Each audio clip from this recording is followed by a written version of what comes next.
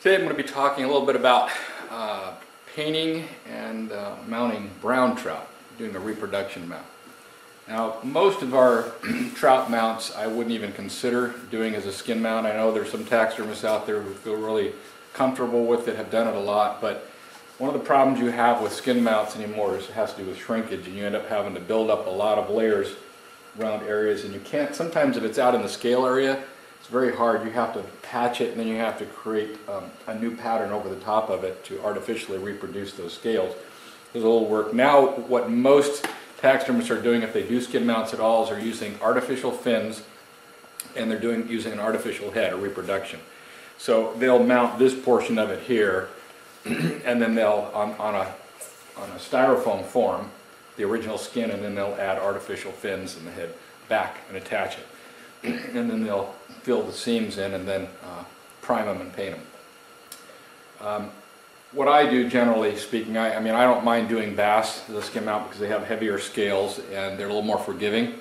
Uh, but for trout and salmon and things like that with a smaller scale fish, I hit with skin mount. I want to focus mostly on browns today. This is what I'm going to be painting and just want to kind of give you an overview of what's going to be happening with this fish. This fish is a what we call a premier. The fins came separate and the head came separate, and I had to attach them and I had to play, put the eyes in. Most, a lot of our trout, various fishes have um, transparent fins. You can see you can see through the back of these, and you would paint them that way. In this case, in brown trouts are very opaque. You're not going to see that. So what we're going to do is primer this fish, and we're going to white these out um, to be more realistic uh, in relation to what browns look like. They're generally darker. So um, I'm going to start off by, I have already attached these fins. I put a little bit of filler around them, sanded them down. Now I'm going to put some primer on these. And you have to kind of consider this as like the canvas of the fish. Uh, my job is to try to get these scales in here to really pop out and give the illusion that there's reflection to them. And that's what we use our paints for. We have to start off with the skin, think of as if, this, as if these scales were not even there. And we need to think of that, start with that underlayer. So we have a white, going to have a white blank canvas. We're going to lay down some silver on here, a couple other colors. we're going to seal that. And then we're going to start building our layers on top of that. I'm going to start with lighter colors because of what the effect that I want to get. If you have a darker color underneath, those, the, the scale tipping is going to be a lot um, brighter. It's going to pop um, the lighter is the less um, pronounced it's going to be.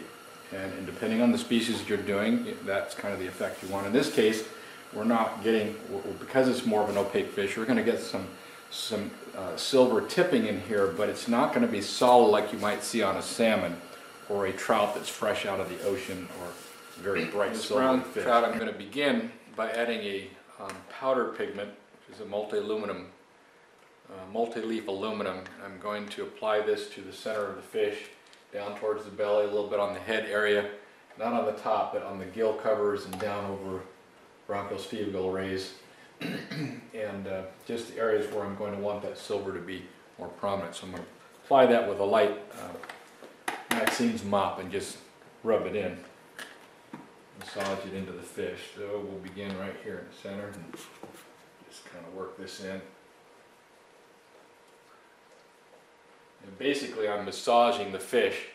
it's kind of nice and easy like.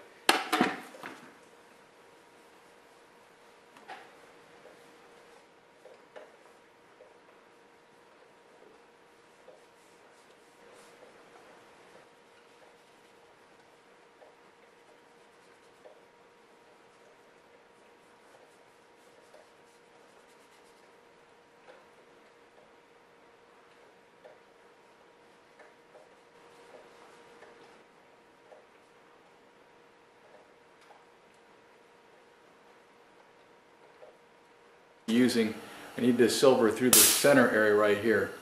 So I wanted to come back and to make sure that was pretty prominent and then along the face. Now what I'm going to do is come back with this a pale uh, gold color powder I'm going to put along this bottom and along the head, and the top and the back and then leave this center open.